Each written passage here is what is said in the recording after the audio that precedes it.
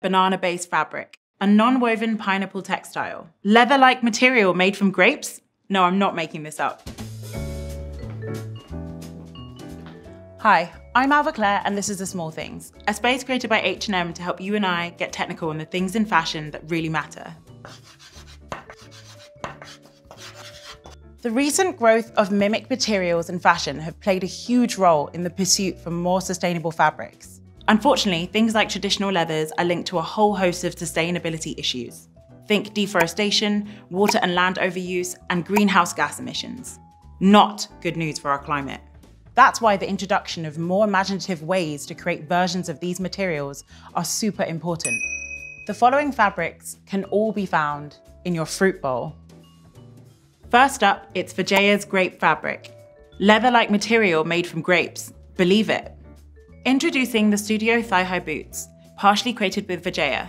In collaboration with Italian wineries, Vegea has found a way to turn discarded grape skin, stalks and seeds into a beautiful vegan leather. It's animal friendly, free from solvents, and created without any harmful substances. Second, it's Pinatex, a non-woven pineapple textile. These are the Gold Studio sandals, partially created with Pinatex.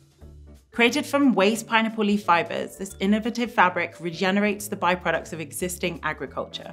This supports a circular process that benefits the farming communities around them, as well as the fashion industry. And last to the fruit bowl, it's Banana Bananatex, with their banana-based fabric. And no, I'm not making this up.